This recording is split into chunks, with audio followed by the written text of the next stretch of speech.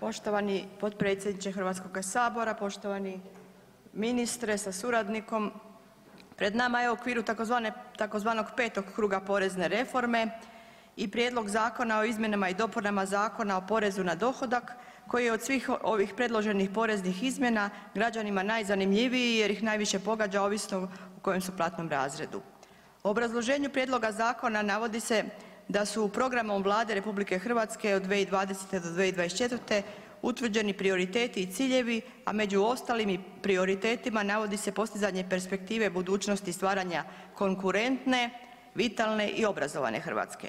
Tako se navodi da će se nastaviti s poreznim rasterećenjem radi daljnjeg povećavanja raspoloživog dohotka vodeći računa o socijalno pravednijem poreznom sustavu.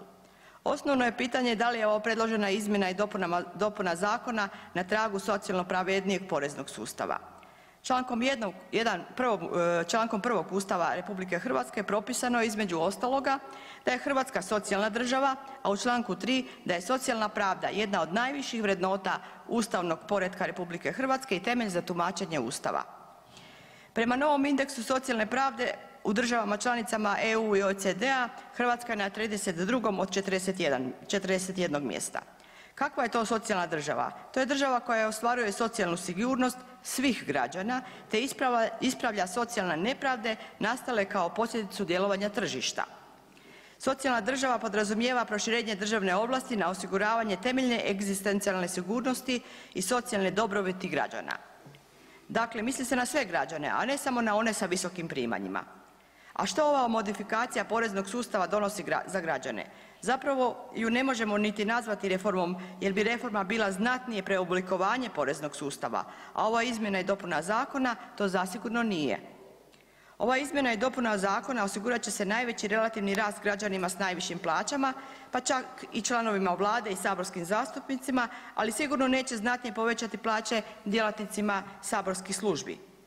Onima iznad 20.000 kuna rast će neto plaće za 1.000 kuna, a onima malobrojnima od 30.000 do 40.000 kuna povećala bi se plaća čak nekad i za 2.500 kuna do 3.000 kuna. Jasno je da ovim modelom Vlada preferira bogate građane s najvišim plaćama.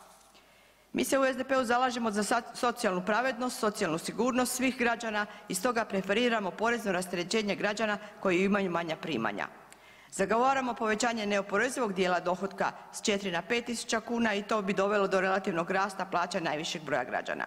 Npr. jedan samac sa 5.000 kuna ovim izmjenama poreza na dohodak dobio bi oko 60 kuna povećanja plaća, a u slučaju povećanja neoporezivog dijela dohotka sa 4 na 5.000 kuna dobio bi povećanje plaće od oko 256 kuna.